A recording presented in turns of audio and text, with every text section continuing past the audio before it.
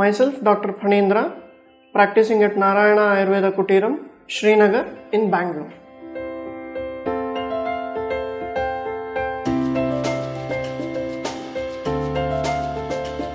Men are often uh, worried about the patchy hair or patchy beard or less development or underdevelopment of the facial hair.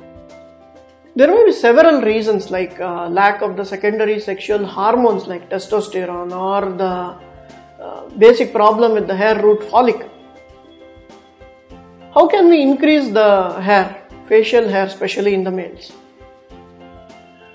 Usually they have to practice a procedure called Pratimarshanasya wherein they will be instilling a medicated oil like Anutaila or Shadbindu Taila into their nostrils every day, morning and evening. This stimulates the root of the hair follicle to produce new hair. The next important thing what is generally practiced is the application of leech known as Jalukavacharna.